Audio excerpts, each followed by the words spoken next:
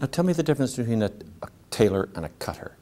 Because you, you create the costume yeah. sketch and then deliver it to. Well, the, the, the term cutter is usually, usually reserved for women's clothing. We talk about cutters who, who and first hands, etc., and assistants and sewers, etc. That's all on the women's teams. A tailor is usually talked about in men's clothing.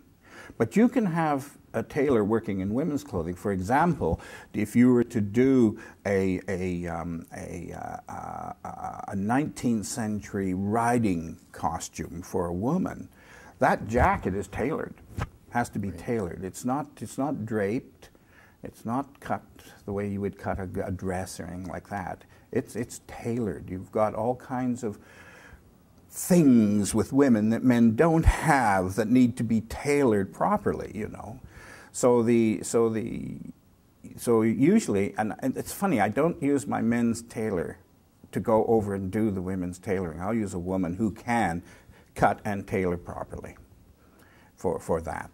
You know. And where do they learn that? Because it's an art, ah, right? Ah, now mean, listen, we've just you've just opened up the largest can of worms in the in the industry right now the tailors are not there anymore. The, the great tailors have been trained in Europe under the old, the old apprenticeship programs. The tailor at the Shaw Festival, Vincenzo Cardoni, who just retired, we brought him back out of retirement, not to, to just make the clothing, but to teach. Because we've got four or five people who want to be tailors, but don't know where to go to get the training. No, it's a shortage. It's a desperate shortage. Theatre Aquarius, screaming for a tailor. You know, so all over the place. How did the old tailors, how did they train and how do we bring that Well, I will use Vincenzo. I don't think he would mind me saying so. He was trained in Italy at Torino. He had an apprenticeship program there where he had to start, you know, probably sweeping the floor for a year. You know, that, that old world apprenticeship program. And eventually, when he graduated, he had to cut a piece of clothing, and that piece of clothing was adjudicated by a whole series of very respectable tailors. And then at the end, he got his graduation certificate. Then the next step up was he cut and tailored some clothing for somebody else, and he was adjudicated on that, and he got what he calls the Academy Award for, for men's clothing. Then he came to Canada. But it's an art, it's not a science. So it's both but it is an art. And it is an art. He, where does where does he learn the art of it? He, it in he, him? I mean, is in, in, him, him most likely, it's in his spirit, of course. You know, he, he, if you don't have the feel for it, if you don't have the eye for it, you know, it doesn't matter how all the training in the world is not going to help you become a great tailor. So, what does that mean to have the feel for it? it well, it's like like cooking or anything. You've got to, you've just got to feel it, and it doesn't mean necessarily feeling it with your fingers, but you feel it in your soul. That yes, you look at it and it's it's what you want to do. It's that you have to do. In some ways, you're you're driven to do it. You know, but these most of these people have come back come from um, a tradition. Right. Uh, you know, a lot of the tailors that I've known have been tailors you know, um, in the old country or in England or wherever, and they've come through, and their father was a tailor before that. You know, I just heard the story the other day on the radio about the the the uh, milliner in in Montreal. You know, last of the hat makers in Canada, still making hats. You go in there, you want a hat, I give you a hat, fifteen dollars. You know, uh, we'll still make you a hat by hand. Uh, you know, and I don't know anybody, or there used to be some people on Spadina Street here that would make hats by hand. They, they're gone. So creating a perfect suit is in fact a form of physical flattery? I would think so. Of course. You want them to look good. A little story with Vincenzo. The first time he ever cut a suit for me, I said to him, you know, Vincenzo, I want this suit. I didn't know him that well at that time. I said, I want this suit done really well because you got to do it right before I can do it wrong.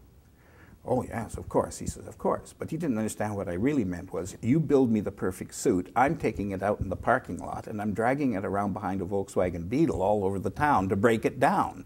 And then come back. And he's just shocked when he saw these suits that he'd perfectly made broken down. But I said, if he hadn't done it perfectly, if he had taken shortcuts, the thing would have fallen apart.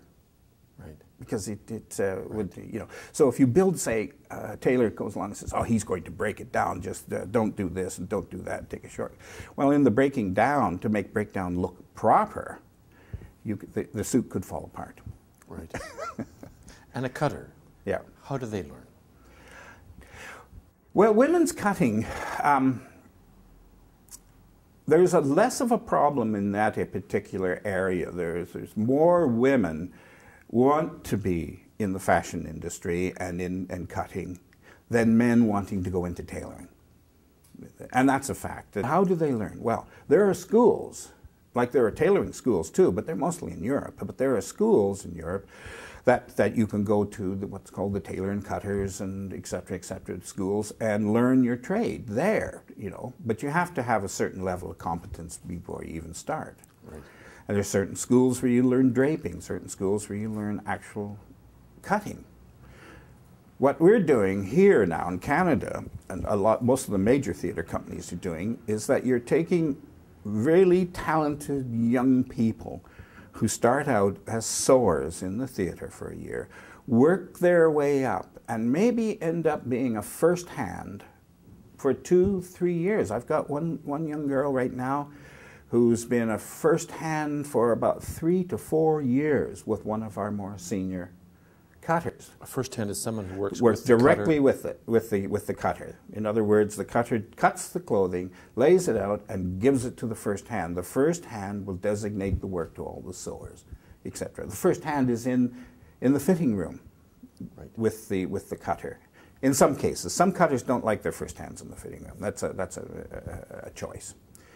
But this, this young girl is now graduated up and she's cutting on her own and she's doing a beautiful job of it. She's young, so that, that part of that team is, is there. The other cutter is, is, did the same thing. The girl she learned from learned from another cutter who's retired now. Interestingly enough, the thread of that first cutter has gone through two generations of cutters. And you can tell in the clothing how they approach their work who taught them. How? The waist, the shoulder, the neck, the way, the drape? The, yeah, all of that, all of all of the above. Some some cutters are drapers, like to drape. Some don't. Some are pattern, what they call pattern cutters. You know, um, it's uh, it, it's just the way they approach the detail, the the way the the clothing is put together more than anything else is, uh, is how, they, uh, how you know where they've come from. And how difficult is it then with tailors and cutters with modern fabrics as opposed to traditional? What I call fruit salad. you know, fabrics that are fruit salad that dull your scissors when you're trying to cut through them. Um, good fabrics are, are a boon to, uh, to, to a good garment. There's no doubt about that, especially in men's tailoring. Good fabrics really good fabrics will give you a better look because they tailor better. Bad synthetic fabrics, the kind of things like the hockey players are wearing, um, they, they don't tailor very well. They really don't. Many of them have no substance to them. They're too thin. Right. You see, and some of the older fabrics, like for example, for tuxedos or for formal wear, whenever you use a fabric called Barathea, it comes out of Britain. It's a wool. Oh, it's to die for. Making a military jacket, you, you use, you can't get these Melton that you used to be able to get, which was the very thin Melton wool that the military jackets were made of.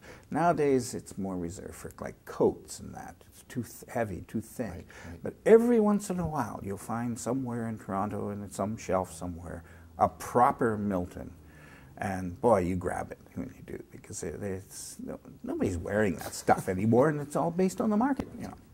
I heard a story from Opera Atelier in Dora Rust-D'Eye that someone had a store of, of period fabrics in Detroit or something. I mean, they were literally whatever 150 years old, mm-hmm.